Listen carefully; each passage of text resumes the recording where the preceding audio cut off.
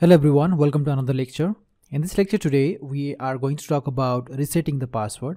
So in any authentication system, there is two conditions that we need to take care of. And there is two ways that user is going to change their password. So one is if they forget their password. So in that case, user won't be logged into our application and he is going to request for the reset password link from the login screen and from there we will we can send him a reset link and he can log into his email account and he and he can reset the password from the web okay? And the another condition is that user is logged into our application and from there he simply wants to reset his password okay? So in this lecture we will go ahead and simply let the user reset the password when he is logged into his account okay so this feature is uh, usually available in the profile section of uh, our application but we don't have that right now. So what we're going to do is we're going to create one menu and there we'll let the there we will have one option to set the new password. And when whenever user click on that we will open the new activity and there user can simply reset his password okay? So for that he don't need to uh, further we will not send any uh, reset email or something like that because user is already logged in and authenticated. Okay? So let's go ahead and do that. I'm going to open up my android studio. And in the main, main activity and let me open the layout file here. Okay? So what i'm going to do is i'm going to create a, a menu here in the toolbar and that three dot and when whenever user click on that three dot there we will add the one option that is uh, set new password or reset new password. And from there user can uh, change his password okay? So let's go ahead and add a option menu in our application. So to do that i'm gonna go here right click here and create new android resource file. And from here i'm gonna uh, select menu. And i'm gonna give name as option menu okay? Click on ok and now it's going to create the option menu for us. And here I'm going to simply drag and drop one menu item and give the title as reset password okay? And it's going to have the ID of reset user password. And now I'm gonna go ahead and run this application and show you guys how it's going to look like. The application is running but the menu is not displayed here. That is because we need to set that first. Okay, so let's go to the uh, main activity here and just after this we're going to create an option menu. So on create option menu, okay, what we're gonna do is we're going to create a menu inflator first. I'm gonna call this inflator and call the method name as get menu inflator. Okay so uh, first I need to remove that from here and paste it here. So inflator dot inflate. And here now we need to find the menu resource that is option menu. So r dot menu dot the option menu. And now here we need to pass the menu that we have here. Okay so now if I run this application we should be able to see the options menu in our app now yes we can see. And if we click on that it displays the reset password option. But if we click on that it's it uh, nothing is happening right? So we need to handle that that as well. So let's go here and override the on options item selected. We can use if else condition or switch. So we have only one item right now. So i'm gonna use if item dot get item id is equals to r dot id dot reset password then we are going to let uh, we are going to start the reset reset password activity okay? So currently we don't have that reset password activity here. So let's go ahead and uh, set that. But uh, we are getting some error. That is because of this um, return statement here. So let me just paste it here okay? Now inside this we will start the new activity. New intent. And from this activity we will send a user to the uh, reset password activity that we don't have right now. So let's go ahead and create new activity here. And that is gonna be an empty activity. Reset password. Okay. And click on finish. Now we have this reset password activity. We need to design that uh, field here. We'll do that in a second but before that let's go here and add that reset password activity. Now whenever user click on that uh, option menu he is going to be redirected to the reset password dot uh, reset password activity. That that is what we exactly want here.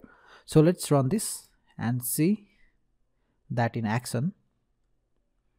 Okay click on reset password and we are at the reset password. Okay so now in the reset password what i'm gonna do is i'm going to add one plain text field here or maybe i'll add password field okay? So that user can enter the new password here. So we will not ask for old password because user is is already authenticated. So let's make it match constraint and here I'm gonna give the hint as enter new password and we'll also ask user to confirm that password. But before that let me set the ID new user password is the ID for this. And let me add one more here just to confirm the password and set the constraint on the all other sides make it match constraint. Give the hint confirm new password and it's going to have the ID of new confirm pass. Okay now we'll add one button here to save the settings. Okay so reset password button is the id here. And now we can go to this reset password.java file and extract the data validate the data and reset the password okay? So first things first let me create the edit text variables that we need. So user password and you user confirm password okay? User password equals to find id r dot id dot new user password. And similarly for the confirmation password we can use the user confirm password find by id dot id and new confirm password okay? Now we can extract the data and validate the data when user click on uh, save here okay? So let's go ahead and implement this button. So we have the id as reset password button. So let me create one variable for that as well. Save password button is the variable name that I wanted to give. And now I can use save password button equals to find by id r.id dot reset password button okay? So that is the id of our uh, button here okay? So now let's handle the click on that button okay? So I'll just let me refactor this. So let me click on refactor rename and make it password okay now let's set on click listener new on click listener now I'm going to use if else condition just like how we did in login activity. So here I'm going to get the data. So say password or let's uh, get that user password dot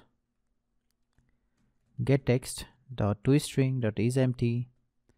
We're to check and we're to use user password dot set error required field. Okay. And if user confirm password get text or toString is empty if the user confirm password is empty then we are also going to display the error so set error required field is a message and let's return the control.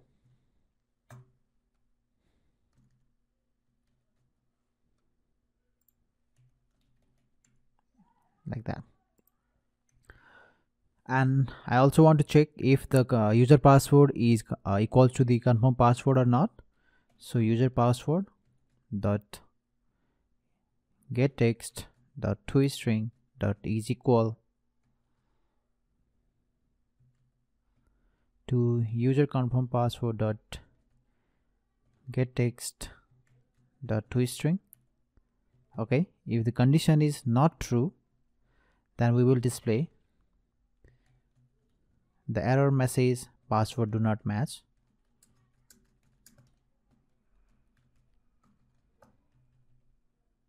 Okay and return the control. And now if control gets here that means everything is all right it has uh, passed the validation uh, process so we can reset the password of the user. So to reset the password of the user obviously we're gonna need the uh, firebase user or firebase authentication class okay? So i'm gonna create firebase user okay? And let me call it firebase user. And from the firebase auth class we can get instance and get current user okay? Something like that or what we can do is let me just create that variable here. And initialize the variable here. Like that okay?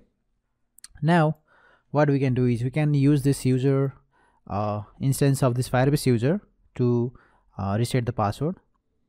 Okay so here user dot update password.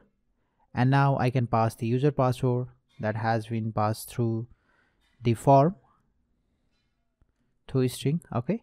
And I'm gonna add success listener new. On success listener. And if the operation is successful we're gonna display the message to the user that password updated okay? And we will send the user back to the uh, main activity. So we can start the new activity new intent from this activity to main activity. So let me get the correct one main activity class and just finish this.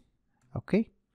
And you can also add failure listener here just in case if the password is uh, password updation process is failed. So let let's go ahead and add that new on failure listener and here we'll just toast the error message that we get from the exception okay? So that way you'll have the pretty much good idea of what happened what happened if the password is not updated okay? So this is how we update the password. Let's go ahead and run this application and see in action. So i'm gonna run this in my emulator. Okay our app is running now and you can see we are at the dashboard. So let's go ahead and update the password. Click on reset password now i'm gonna change the password from 234567 okay? Let's add 234567 and if you remember our original password is 123456 so i'm gonna click on save. Okay? And it says the operation is sensitive and require recent authentication. Okay? So it is asking me to re-authenticate again it is not letting me to directly uh, save this password okay? So in that case uh, we will just uh, log out from this app. So let me close this application.